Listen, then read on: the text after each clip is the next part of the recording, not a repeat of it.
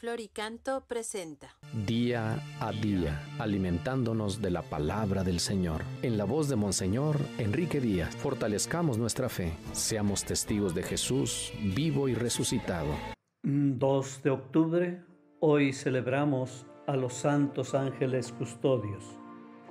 Evangelio según San Mateo, capítulo 18, versículos del 1 al 5 y 10.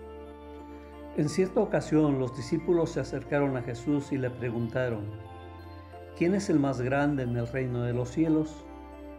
Jesús llamó a un niño, lo puso en medio de ellos y les dijo, yo les aseguro a ustedes que si no cambian y no se hacen como los niños, no entrarán en el reino de los cielos. Así pues, quien se haga pequeño como este niño, ese es el más grande en el reino de los cielos. Y el que reciba a un niño como este en mi nombre, me recibe a mí.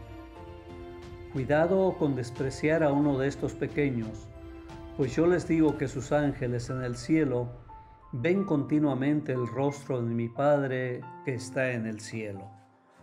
Palabra del Señor.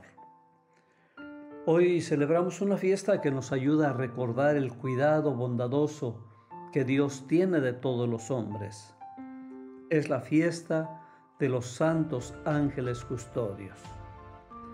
Todos recordamos las oraciones que hacíamos de niños a nuestro ángel de la guarda.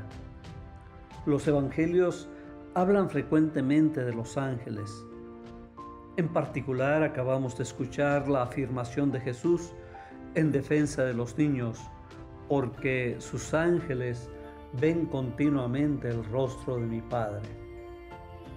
En los ángeles encontramos personificada la providencia amorosa que Dios tiene de cada uno de nosotros. En los últimos tiempos se ha puesto de moda una devoción extraña a los ángeles. Se les mira y se les trata no como seres que dependen de Dios, sino como verdaderos talismanes o seres que actúan independientes de Dios. Se les compra con oraciones, veladoras, inciensos y ritos extraños. Se tiene un ángel para cada necesidad.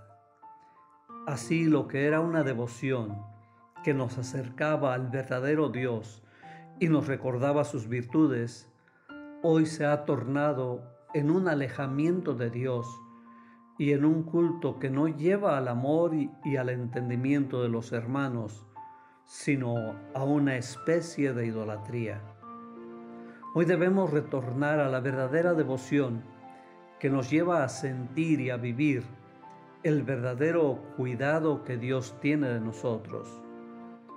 No podemos tener fe en unos seres como si fueran amuletos para evitar los males y las enfermedades, para cambiar a nuestro arbitrio la libertad y el destino de los hombres la devoción a los santos ángeles de la guarda nos llevará a una verdadera confianza en el Dios que nos acompaña diariamente en nuestro caminar, que guía nuestros pasos y que nos pide una responsabilidad en el cuidado de nuestro mundo. En particular el texto de hoy nos insiste en esa dignidad y aprecio que debemos tener por el cuidado de los niños que en nuestro mundo se ven tan amenazados en todos los sentidos, desde la pornografía y la trata de niños y niñas hasta su educación, diaria responsabilidad que los padres han dejado en manos ajenas. Que nuestra oración nos lleve a un verdadero compromiso y al cuidado de estos pequeños. Nuestra oración al ángel de la guarda, despierte en nosotros el reconocimiento al Dios que nos ama, que nos protege y que nos cuida. Acerquémonos a Dios. El Señor te bendiga en nombre del Padre y del Hijo y del Espíritu Santo.